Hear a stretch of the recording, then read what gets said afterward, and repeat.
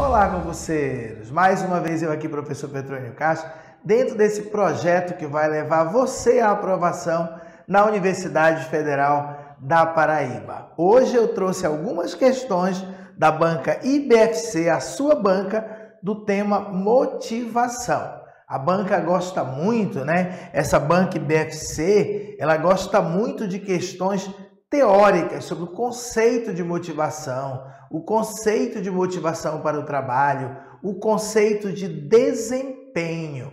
É importante você perceber que existem muitas teorias sobre motivação. Mas por que que se estuda tanto motivação?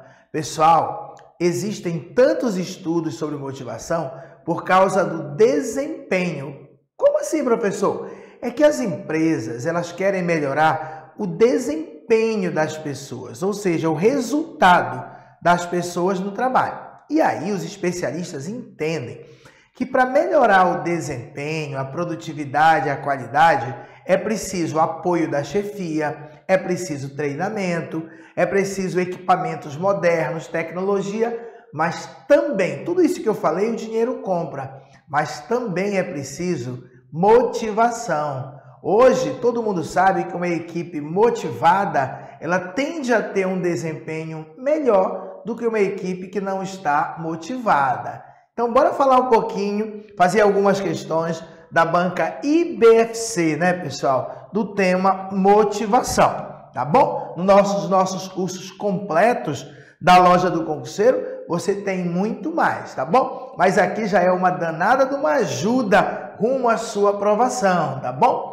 Nossa primeira questão de 2022, tá? Que caiu numa prova elaborada pelo IBFC, diz assim: assinale a alternativa que nomeia o pro, que dá nome, tá? Que dá nome ao processo responsável pela intensidade, direção e persistência de esforços de uma pessoa para alcançar um objetivo intensidade, direção e persistência. Você, para ser aprovado, você precisa estudar. E você precisa estudar muito. A intensidade não é estudar pouco, é estudar muito.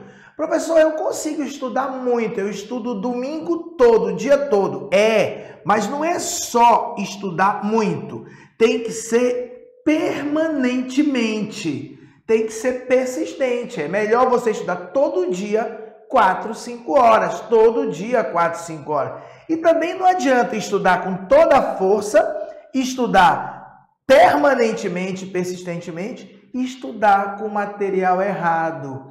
Estudar sem direção para a banca Instituto IBFC.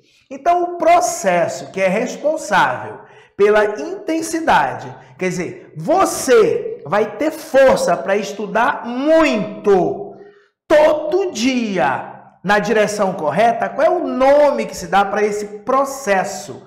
Responsável por você fazer esse grande esforço na direção do objetivo de forma persistente. É a autoestima? Não, é o efeito diálogo, nada a ver estereótipo nada a ver, motivação. Tem nada a ver com planejamento. Planejar, nós já vimos inclusive outra dica. É você definir objetivos e meios para alcançar. Então, o nome de um processo. É importante saber que a motivação, ela é um processo individual. A motivação, pessoal, ela é um processo individual. Cada um é, tem o seu pró, cada um tem o seu eu, né? Então, para eu motivar o João a estudar, eu vou ter que precisar de algumas teorias, algumas ideias, alguns argumentos. Para eu motivar, por exemplo, a Maria já seria outro caminho, porque a motivação ela é um processo individual, responsável pela intensidade, direção e persistência dos esforços. Motivação quer dizer mover mover, se movimentar, sair da sua cama deitado e dizer: "Eu vou estudar, agora eu vou, agora eu vou, eu vou garantir essa vaga na Universidade Federal da Paraíba". Tá bom? Então bora ver. Então essas três palavrinhas têm muito, muita força. para cair na sua prova. Bora ler um pouquinho. É preciso ler. O autor, o professor Maximiano, é um dos preferidos desse assunto da banca IBFC. Lá o professor Maximiano diz: a palavra motivação, derivada do latim motivos, movere, que significa mover, movimentar, indica o processo pelo qual, então motivação é um processo pelo qual um conjunto de razões ou motivos, eu quero estabilidade, eu quero um bom dinheiro, eu quero um local legal de trabalhar. O processo pelo qual um conjunto de motivos explica, induz, incentiva, estimula ou provoca algum tipo de ação ou comportamento humano. Eu vou estudar, eu vou me levantar, eu vou comprar o curso da loja do concurseiro, agora eu vou para cima. Então, o conjunto de razões ou motivos que induz esse comportamento é a motivação. É importante você saber que cai bastante no IBFC que o comportamento humano é sempre motivado. Você está aqui deitado na rede. Você só vai à geladeira se você tiver um motivo. Sede, por exemplo. Tá bom? E assim vai. Você só vai estudar se tiver um motivo. Tá? Tudo que você faz é o comportamento humano, ele é sempre motivado. Tudo é por uma razão, tudo é por um motivo, tá bom? Motivação, ainda segundo o professor Maximiano, é um processo que possui três propriedades: direção, intensidade e permanência ou persistência, tá? Direção, o objetivo do comportamento motivado tem que ser no rumo do objetivo. Intensidade, a dimensão ou força destes motivos. Que, com que força, o, o, quanto você quer passar no concurso, o quanto você quer aquela promoção. E permanência, o tempo qual a motivação se manifesta. Permanentemente. Ah, passou. Eu estava com vontade de trabalhar. Passou. Passou. Pois é, o tempo é a permanência, é a persistência. Motivação é um processo que envolve direção, intensidade e permanência, persistência. Eu até trouxe um outro texto para explicar melhor esse aqui, ó, tá? Motivação é a disposição de exercer um nível elevado e permanente. Olha, eu, eu estou disposto, disposto a que, professor? A exercer um nível elevado, elevado, intenso, intenso, elevado e permanente, e permanente, persistente. Quer dizer, eu estou disposto a exercer um nível elevado e permanente de esforço em favor das metas da empresa, sob a condição de que o esforço seja capaz de satisfazer alguma necessidade individual, que eu vou ganhar um prêmio, eu vou ganhar um, um, uma comissão e eu vou pagar minhas contas. Os elementos fundamentais dessa definição são intensidade do esforço, persistência do esforço e orientação em direção às metas organizacionais e às necessidades. Intensidade, persistência e direção. Um trabalhador motivado trabalha com dedicação e persistência. Entretanto, esforço e persistência não compensarão a menos que sejam canalizados numa direção benéfica à organização. Você tem que fazer um alto esforço, intenso, intenso persistentemente, todo dia estudar, mas tem que ser na direção do objetivo. Remar contra a maré não adianta. Não adianta fazer muita força o dia todo remando contra a maré. Tem que ser na direção. Então, pessoal, começamos o jogo aqui. Antes eu queria um minutinho para você dizer que nós lançamos um curso completo, 320 reais, para assistente de administração. Esse curso tem vídeo aulas de teoria, videoaulas de exercício de todas as disciplinas, tá? Dois simulados inéditos que vamos gravar, revisão final, semana de revisão final e apostila em PDF. E ainda inclui de forma gratuita 200 questões da banca IBFC comigo. Ainda vão ser liberadas, tá bom? Mas já está quase tudo gravado. 200 questões da banca IBFC, tudo separadinho, tudo organizadinho para você, tá bom? A gente vai colocar um pouco de cada assunto e no final as questões misturadas, tudo bem? Não deixa, pessoal, loja do concurseiro.com.br. Loja do concurseiro.com.br. Tem aqui na descrição do vídeo compra, vale muito a pena, é para o resto da vida esse, esse, esse trabalho, esse emprego, esse serviço, esse cargo público. Claro, depois vicia, né? Você vai querer algo melhor, melhor, melhor, melhor. Mas pelo menos isso aqui já vai dar, já vai dar garantia, tá? Que você vai estar tá com um emprego legal, estável, com uma boa remuneração. Segunda questão, uma questão também de 2022 do IBFC. É interessante perceber que as questões de 2022 do IBFC são muito similares às de 2017, 2015, 2013. É uma banca que não mudou, então você precisa estudar através de questões de provas anteriores. Essa aqui ele fala das afirmações abaixo a respeito da motivação, assinale a incorreta. Cuidado, hein? Cuidado que ele quer a incorreta. Então, bora tentar aqui. A motivação é força impulsionadora do comportamento. Começou bem. Que orienta o organismo para a satisfação de um determinado objetivo. É exatamente isso tá? É uma força, motivação é um processo, tá? Que energiza o teu corpo, tá? Ele impulsiona o teu comportamento, orienta o teu organismo para a satisfação de um objetivo. Tudo bem. Os estudos humanos sobre motivação nos levam à necessidade de compreender os motivos que impulsionam o comportamento humano Claro, motivação é justamente, pessoal, o processo em que motivos ou razões movem o corpo. Então, os estudos humanos sobre motivação, claro, levam à necessidade de compreender quais os motivos que impulsionam o comportamento. Se eu quero que o meu trabalhador ele trabalhe mais, eu tenho que saber o motivo que vai impulsionar o comportamento dele. Será que se eu prometer isso, será que eu fizer isso, será que vai então, quer dizer, compreender os motivos que impulsionam, tá certo? Em relação à motivação, podemos dizer que existem dois tipos de força que agem sobre o comportamento motivado. A positiva, que impulsiona a pessoa em direção ao estímulo, e a negativa, que afasta a pessoa do estímulo. Tá certo, hein? Vem aquela força que diz, eu vou estudar, aquela diz, ah, não, concurso é assim, concurso é assado. Tem a força positiva e tem a negativa. Até agora tá tudo certo. O comportamento motivado não implica em satisfação de necessidade. Aqui está errado. Esse é o nosso gabarito. O comportamento motivado. Eu só vou me levantar da rede. Eu adoro uma rede.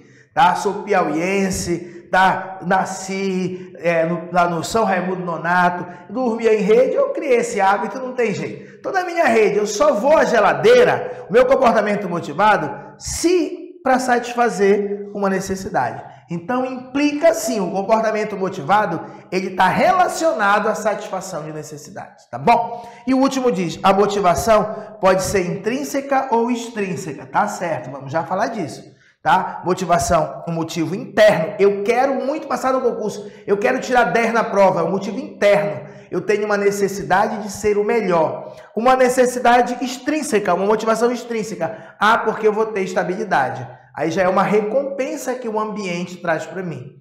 Tá bom? Então, sim, a motivação pode ser intrínseca ou extrínseca. O erro está bem aqui quando ele diz que o comportamento motivado não implica em satisfação de necessidade.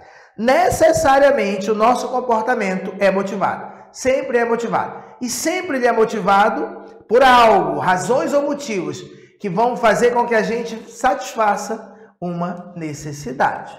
Bora ler mais um pouquinho. Tem que ler, pessoal. Não adianta, é leitura. Só que a leitura do livro certo, do texto certo. Com certeza, com essa aula aqui, uma questão teórica de motivação na prova, você não vai errar. A motivação de uma pessoa depende da força de seus motivos. Motivos aqui entendidos como desejos ou impulsos que ocorrem no interior dos indivíduos. Nós temos necessidade desejo, vontade, a mesma coisa, impulsos. Os motivos que impulsionam e mantêm o comportamento dos indivíduos são, por assim dizer, as molas da ação. Os motivos são as molas, eles que fazem a gente ir para frente. Também se pode identificar os motivos com as necessidades e dizer que os indivíduos são movidos pelas necessidades. Os indivíduos são motivos, são movidos pela necessidade. Mas toda vez que você ouvir falar a palavra necessidade, numa aula sobre motivação, necessidade é igual a vontade, que é igual a desejo.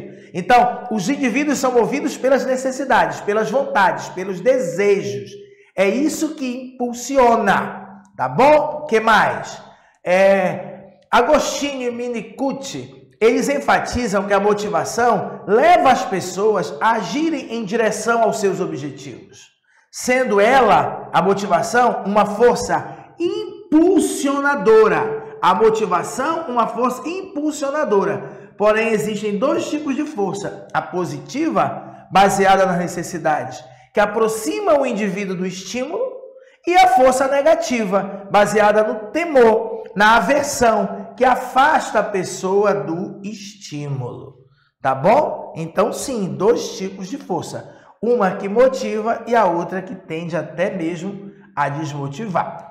Terceira questão caiu numa prova da Embasa de 2017. Uma prova maravilhosa. É muito bacana você que vai fazer essa prova da Universidade Federal da Paraíba, baixar essa prova da Embasa de 2017 e resolver toda ela. Ela é muito parecida com a sua prova, tá bom? Motivos internos.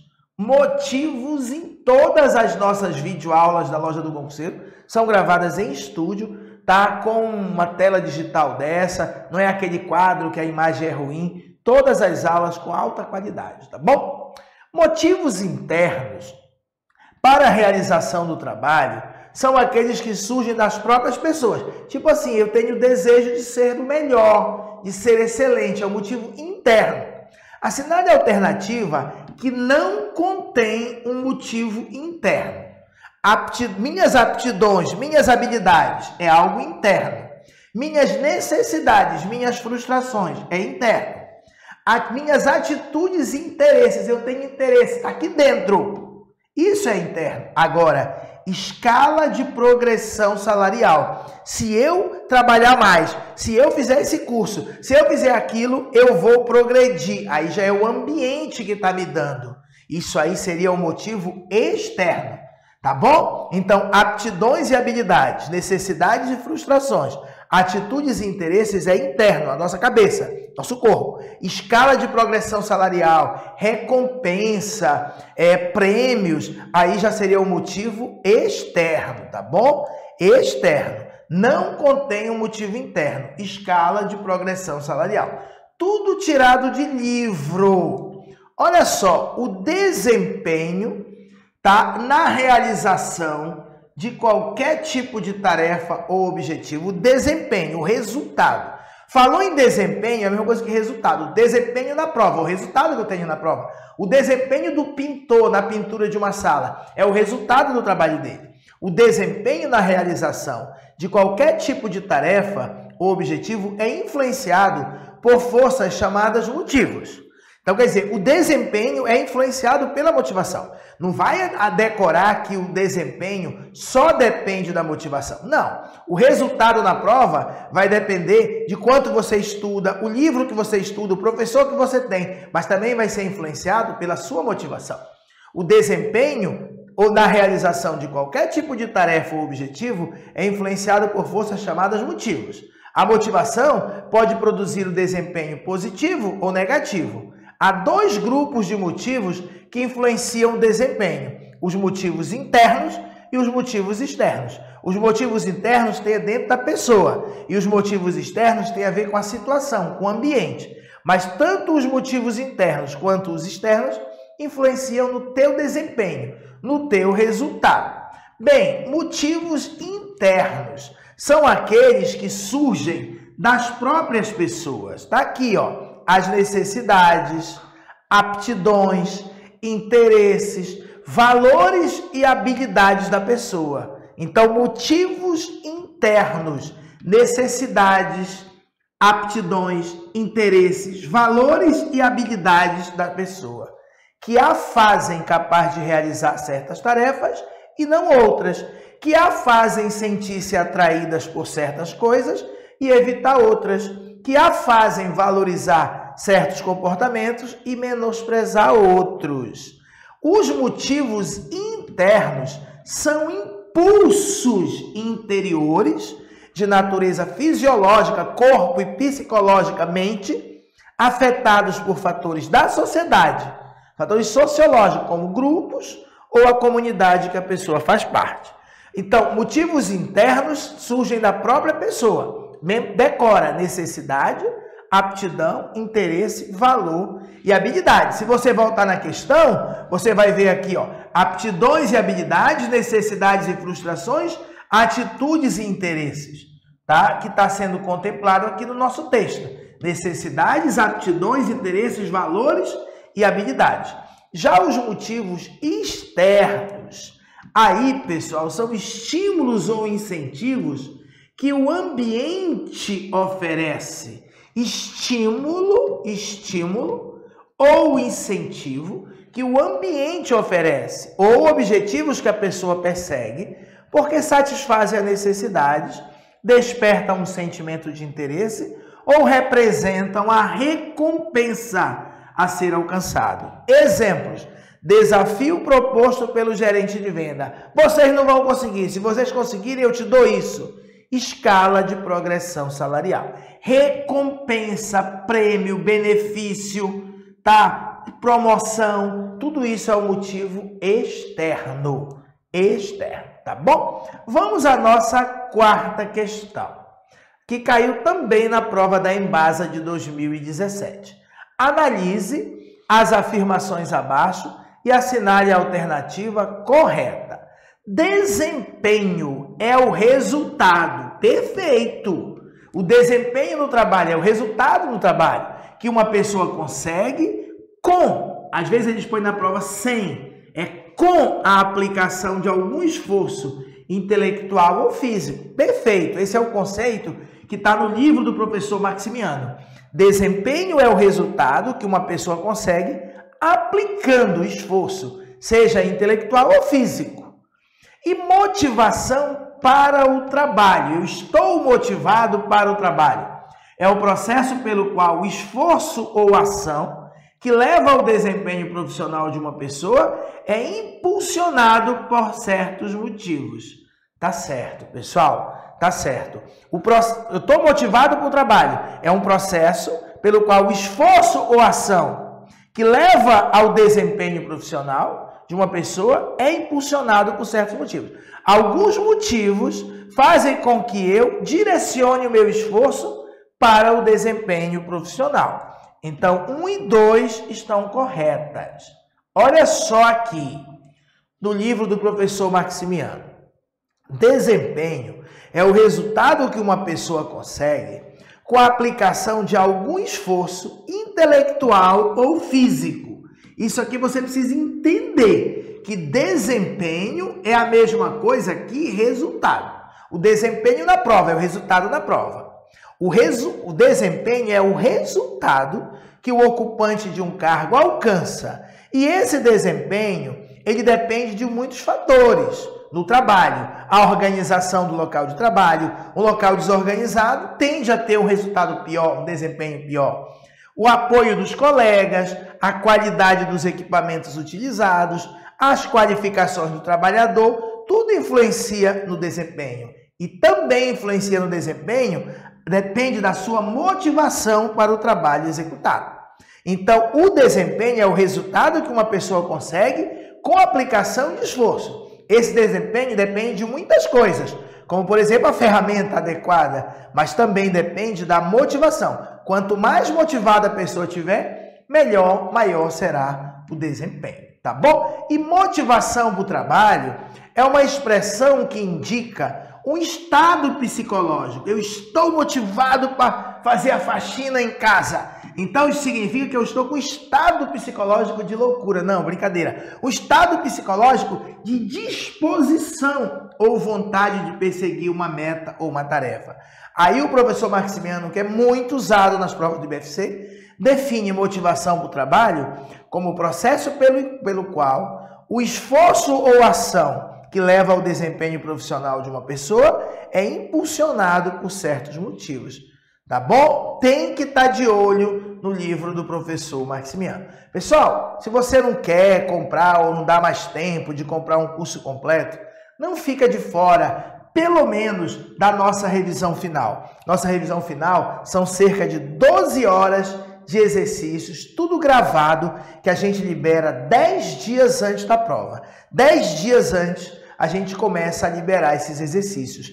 Com certeza você chega muito mais preparado. Apenas 39 reais, mas só é liberado lá mais ou menos 10 dias antes. Tem um outro produto também, que são dois simulados completos, o PDF e os professores comentando questão por questão. Está custando 42 reais. Todos esses dois aqui estão embutidos no curso completo. Se você comprar o curso completo, você já vai ter os simulados, já vai ter a revisão final, é muito mais top. Mas pior é não ter nada, porque a nossa revisão final muda. Se você ia tirar 40, você vai aumentar mais uns 5, 6, 7 pontos e isso pode garantir a tua aprovação, tá bom? Se você já ia passar, muito bem, você vai chegar lá no primeiro lugar, é mais ou menos assim. Mais uma questão, a nossa última questão, tá? Que caiu numa prova de 2018. A teoria mais lembrada quando se fala em motivação é a proposta apresentada por Maslow em 1954. Abraão Maslow falou em Maslow, pensa logo naquela pirâmide o autor concebe a motivação como algo constante, infinito e complexo, encontrado em todos os seres humanos. A classificação dos objetivos humanos, proposta por Maslow, resulta em cinco níveis de necessidades que direcionam o comportamento sobre a hierarquia das necessidades básicas. Assinale a alternativa correta. Ele quer saber quais são as necessidades. Maslow, pessoal, Maslow, tá? A gente tem a teoria do Maslow, tá? Aquela pirâmide que tem cinco níveis: necessidades fisiológicas, necessidade de segurança, necessidades sociais, necessidade de estima e necessidade de autorrealização. Na letra A fala necessidade de existência, relacionamento, não tem nada a ver. Isso é de outro autor, é do Cleiton Alderfer. Aí ele fala aqui, vamos lá, necessidade fisiológica, necessidade de segurança, perfeito, necessidade social e de amor, tudo bem. Alguns livros falam é, sociais e de afeto, de amor dá no mesmo. Necessidades de estima e as necessidades de autorrealização. Letra B. Ele só queria saber se você sabe quais são as necessidades de Maslow. Maslow, pessoal, teoria da hierarquia das necessidades de Maslow, Maslow organizou as necessidades humanas em uma pirâmide, em uma escadinha, em uma hierarquia. Primeiro, segundo Maslow, tá? Você tem as necessidades fisiológicas do ser humano. Depois que ele satisfaz as necessidades fisiológicas, ele tem necessidade de segurança. Só depois que ele satisfizer a necessidade de segurança é que ele tem social e assim por diante. O Maslow disse que as necessidades da base da pirâmide, elas se manifestam primeiro e disse também que não há simultaneidade. Ou seja, que você, segundo o Maslow, que é uma tremenda de uma besteira que ele falou, mas você precisa saber que ele falou, ele disse que você não pode ter duas necessidades ao mesmo tempo. Você não pode ter necessidade de comer e de ter amigos ao mesmo tempo. Claro que eu posso estar com fome e a fim de ter amigos, tá? Mas segundo a teoria do Maslow, tá, pessoal, as necessidades da base se manifestam primeiro e não há simultaneidade. Além disso, fisiológicas e segurança são chamadas de necessidades primárias. Social, estima e autorrealização são chamadas de secundárias. Tudo isso tem no PDF dessa aula aqui, pessoal. Você precisa saber tudo isso direitinho. Vem com a gente, pessoal. Adquire o teu curso completo adquirir tua revisão, que vai valer a pena. Faz valer a pena esse tempo de preparação que você tem aí. Fica com Deus, pessoal, e até a próxima dica. Valeu!